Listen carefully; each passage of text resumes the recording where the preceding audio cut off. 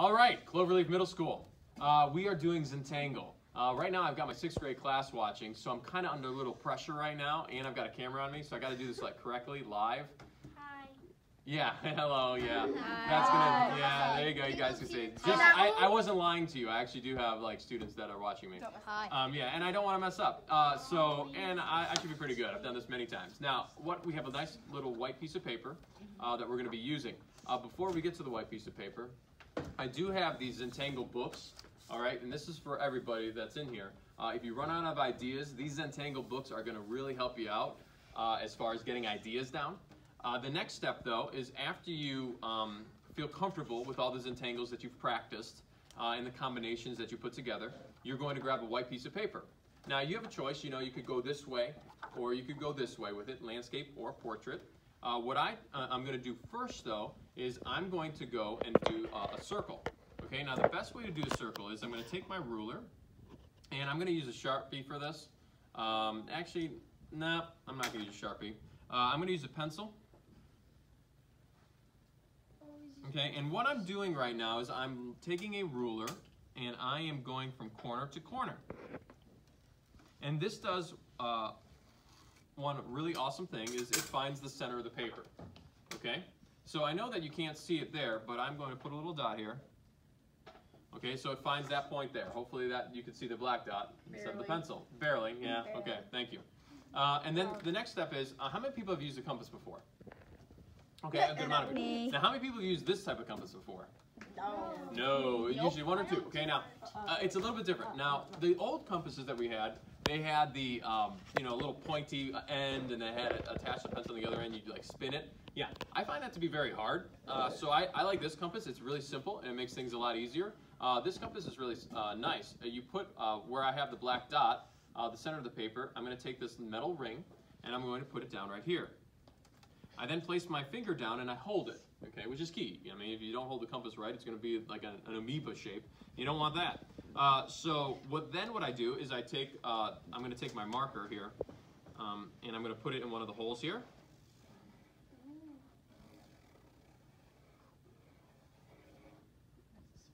And I am making a wonderful circle, all right? Okay? Oh, thank you, yeah, for the Slight, slight, slight applause. Uh, thanks. Okay, so, um, okay. Okay, so now, uh, the next thing is this, is uh, when we get to this next step, okay, now we have to break up the space because we want to um, have a lot of zentangles on it. Uh, what I do is I kind of like do some zigzagged lines, some like wavy lines. Um, and we can all do this, correct? Yeah, it's really simple. Maybe. Ish, yeah, ish. Um, I actually, I'm going to put some cool little circles here. Now, they don't have to be perfect circles, um, but I'm just going to include some here.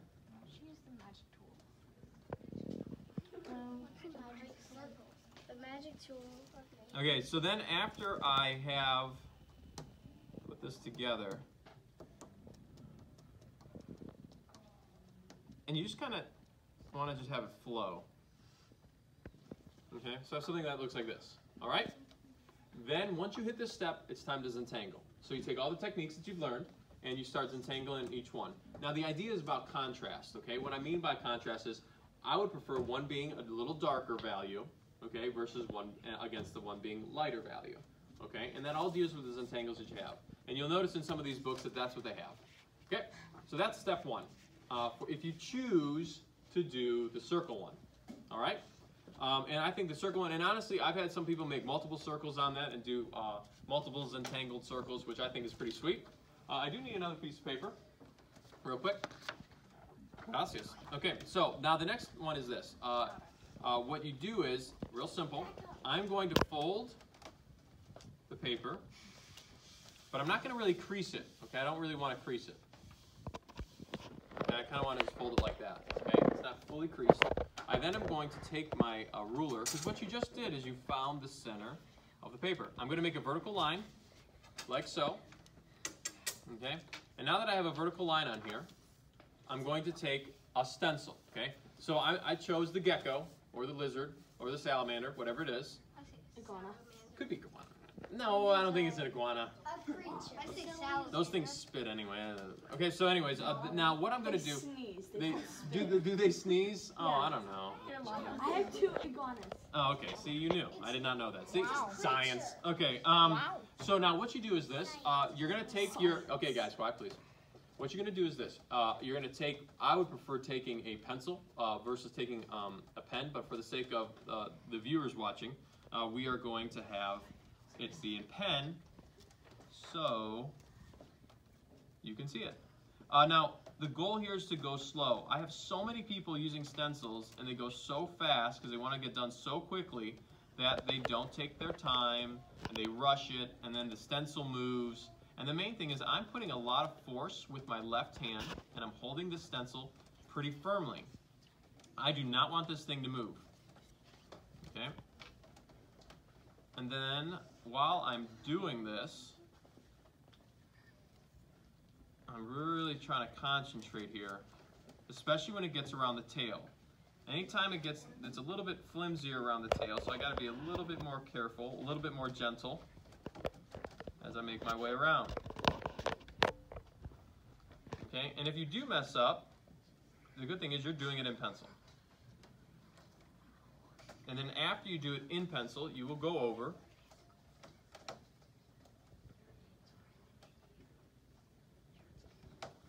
Okay? Looks like that.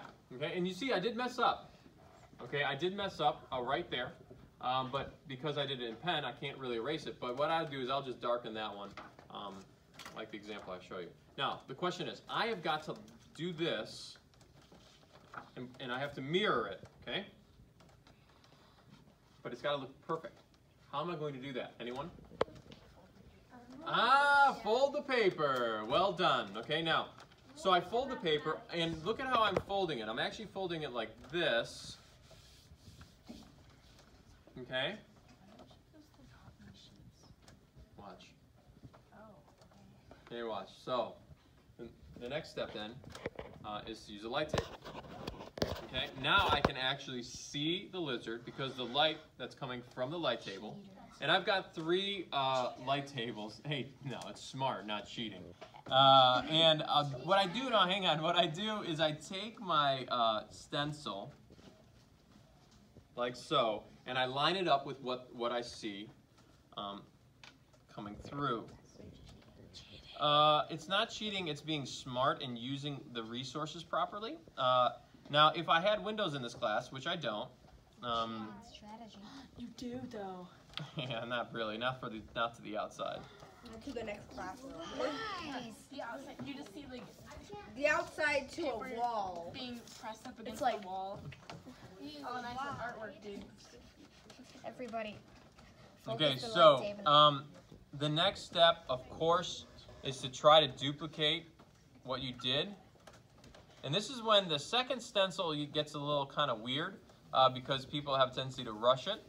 Please don't do that. You've got lots of time on this project and you'll be okay.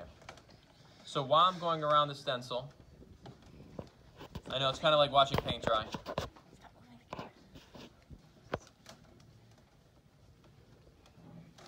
All right. Moment of truth. Okay, that's what it's going to look like. Now, what you're going to do is this. You're going to choose to do this side black, and then this side would be entangled.